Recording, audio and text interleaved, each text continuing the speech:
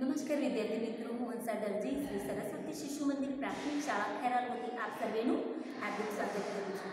આજે આપણે ધોરણ ત્રણની અંદર વિષય છે ગણિત ગમત ગયા વર્ષે તમે કયા ધોરણમાં હતા? બેમાં હતા અને એમાં ગણિત તમે શીખ્યું છે, પરંતુ તમે અને અમે આપણે સાથે મળ્યા નથી. એના કારણે તમે ભૂલી ગયા હશો. તો અત્યારે આપણે ધોરણ બેનું પુનરાવર્તન કરાવીએ છીએ. રિવિઝન જોઈ લઈએ અને પછી ધોરણ ત્રણની અંદર પ્રથમ પ્રકરણ છે, ક્યાંથી જોવું? એ પછીથી લઈશું. પણ અત્યારે તો આપણે કરાવીશું પુનરાવર્તન, તો અત્યારે લઈએ છીએ સંખ્યા જ્ઞાન સંખ્યા જ્ઞાનમાં તમે એકથી સો અંક શીખેલા છો, પરંતુ અત્યારે આપણે એકથી પચાસનું રિવિઝન લઈએ છીએ. તો આ કેટલી સંખ્યા છે? એક. તો આપણે સંખ્યા જ્ઞાન બોલતા શીખેલા છે અત્યારે ફરીથી રિવિઝન જોઈએ. એકડે એક, બગડે બે, ત્રગડે ત્રણ, ચોગડે ચાર આચડે પાંચ, છગડે છ, સાતડે સાત. આઠડે આઠ, નવડે નવ અને એકડે બીડે દસ. એક.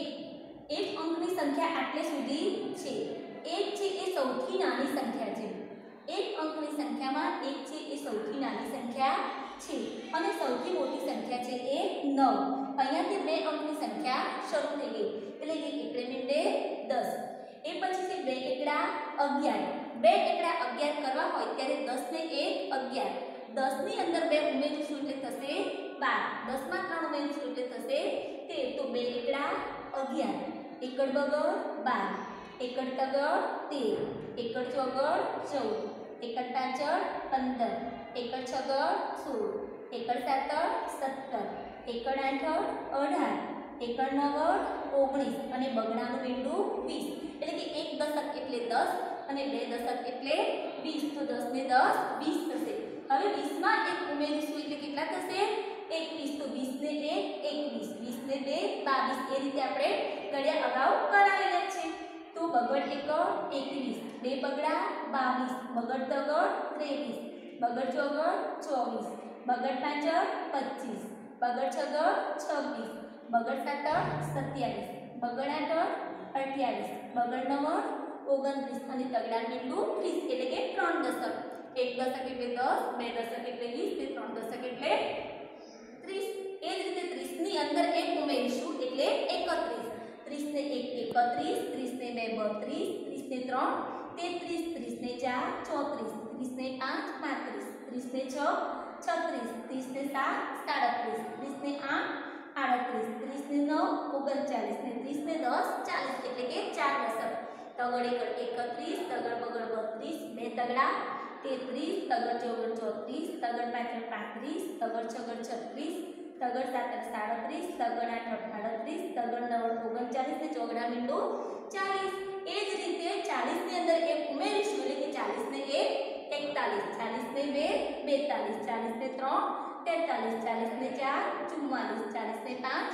પિસ્તાલીસ ચાલીસને છ છેતાલીસ ચાલીસને સાત સુડતાલીસ ચાલીસને આઠ અડતાલીસ ચાલીસને નવ ઓગણપચાસને પાંચ દશક એટલે પચાસ તો એકતાલીસ બેતાલીસ ત્રેતાલીસ ચુમ્માલીસ પિસ્તાલીસ છેતાલીસ સુડતાલીસ અડતાલીસ ઓગણપચાસ અને પચાસ તો એકથી પચાસ અંક આપણે બોલ્યા એનું પણ અત્યારે રિવિઝન કરે છે કે બીજો પ્રશ્ન છે નીચેની સંખ્યાને શબ્દોમાં લખો તમે સંખ્યા બોલતા તો શીખ્યા છો પરંતુ શબ્દોમાં કઈ રીતે લખાય તો ચોગડ નંબર કેટલા થશે તો ચોગડ નંબર ઓગણપચાસ થશે તો આપણે લખીશું ઓ ઘ ણ પ ચા સ તો ઓગણપચાસ લખી દીધું. હવે બગડ આઠળ કેટલા થશે?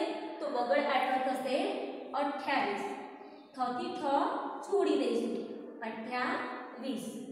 એકડ નંબર ઓગણીસ. તો એકડ નંબર ઓ ઘ ણી સ આ સંખ્યા એ તમે સો સુધીની શીખેલા છો, પરંતુ અત્યારે રિવિઝન ચાલે છે. તગડ સાત સાડત્રીસ. તો સા ડ ત્રી સ બે ચોકડા ચુમ્વાલીસ તો ચુમ વા લી સ હવે છે નીચેની સંખ્યાને અંકમાં લખો, અહીંયા શબ્દોમાં લખેલું છે, જે આપણે લખવાનું છે અંકમાં. તો ચોવીસ, શું લખેલું છે? ચોવીસ. તો ચોવીસ કેવી રીતે થશે? બગડ ચોગડ ચોવીસ. આડત્રીસ. તો આડત્રીસ કેવી રીતે થાય? તગડાઠ આડત્રીસ. પચાસ. તો પાછળાને મેંડે પચાસ. સુડતાલીસ. તો ચાલીસ ને સાત, એટલે કે ચોગર સાતર સુડતાલીસ. અગિયાર, તો બે એકડા અગિયાર. તો આ રીતે આપણે શબ્દોમાંથી અંકમાં લખ્યું હવે છે નાની સંખ્યા ફરતે ગોળ ગોળ અને મોટી પર ચોરસ. તો જ્યારે અંક બોલીએ છીએ, ત્યારે સૌથી પહેલાં જે અંક આવી જતો હોય છે એ નાનો છે. અને જે ક્રમની અંદર સૌથી છેલ્લે આવે છે, એટલે આ રીતે ક્રમ નહીં, પરંતુ અંક બોલીએ ત્યારે જે છેલ્લે આવતો હોય સંખ્યા મોટી છે, તો પાંચ છે સૌથી નાની છે. અને આ બધાની અંદર જોવા જઈએ તો તેરની લાઈન આવે, પછી સોળ આવે છેલ્લે આવે છે એકવીસ. તો એકવીસ છે એ મોટા છે. તો સૌથી નાની સંખ્યા પાંચ અને સૌથી મોટી સંખ્યા એકવીસ. એ જ રીતે આ બધી સંખ્યા જોઈશું બાવીસ, ચોત્રીસ, એકતાલીસ અને નવ. તો બધામાં નાના કોણ છે? નવ. તો સૌથી નાની સંખ્યા નવ અને સૌથી મોટી સંખ્યા આવશે એ એકતાલીસ અંક જોવા જઈએ તો નવની લાઈન પહેલા આવે છે, પછી બાવીસની પછી ચોત્રીસની ને પછી છેલ્લે આવે એકતાલીસની છે. હવે આ બધી સંખ્યા જોઈશું. તેતાલીસ, પચાસ, ચૌદ અને બાવીસ તો સૌથી પહેલા આવી ગયા ચૌદ. એટલે એ નાની અને પચાસ છે એ સૌથી છેલ્લે આવે છે. એટલે એ મોટી છે તો સૌથી નાની સંખ્યા પરથી આપણે ગોળ અને મોટી પર ચોરસ કર્યું. હવે છે તરત પહેલા અને પછીની સંખ્યા લખવાની છે. તો અહીંયા પહેલાની આવશે અને અહીંયા પછીની આવશે. તો એ 36 છે, તો 36 ના પહેલા કઈ સંખ્યા આવે છે? જે 3 છે, એ તો મૂકવાના છે અને 6 ની પહેલા કઈ સંખ્યા આવે છે? 5 તો 36 ની પહેલા આપણે અંક બોલીએ છીએ, ત્યારે 36 ની પહેલા કઈ સંખ્યા આવી? તગડતા જળ 35 અને 36 ની પછી કઈ આવશે? 37 36 ની પછી શું આવે છે? 37 એ જ રીતે 11 તો 11 ની પહેલા કઈ સંખ્યા આવી જાય? 10 અને 11 ની પછી આવે છે, એકડ બગડ 12 ચોગડ પાંચળ પિસ્તાલીસ. તો પિસ્તાલીસ પહેલાં બે ચોગડા ચુમ્માલીસ અને પિસ્તાલીસની પછી છેતાલીસ. નવ તો નવના પહેલા આઠડે આઠ. અને નવની પછી એકલા મીંડે દસ. સત્યાવીસ. સત્યાવીસના પહેલાં બગડ છગડ છવ્વીસ ને સત્યાવીસની પછી બગડ આઠડ અઠ્યાવીસ. તો વિદ્યાર્થી મિત્રો, આ આપણે જે લખાવ્યું તે આપણે પુનરાવર્તન કરાવ્યું હતું. અને હવે તે જે કરાવીશું પુનરાવર્તન, એમાં એકાવનથી સોની સંખ્યા લઈ અને પછીથી આગળ સોથી સંખ્યાને વધુ શીખવીશું. તો અત્યારે આટલું પુનરાવર્તન તમારે પણ ઘરે કરવાનું છે. નમસ્કાર.